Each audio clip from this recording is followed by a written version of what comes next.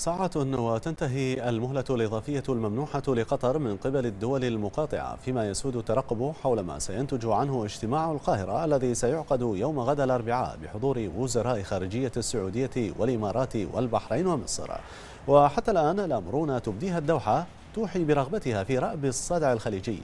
وما يبدو جليا حتى الآن هو ارتباك قطري واضح وتخبط في كل الاتجاهات بعيدا عن محيطها. ووسط هذه الأجواء اتسعت في الساعات الأخيرة دائرة المساعي الدولية لاحتواء الأزمة وحث قطر على الحل والتعاون في مواجهة الإرهاب ووقف تمويله.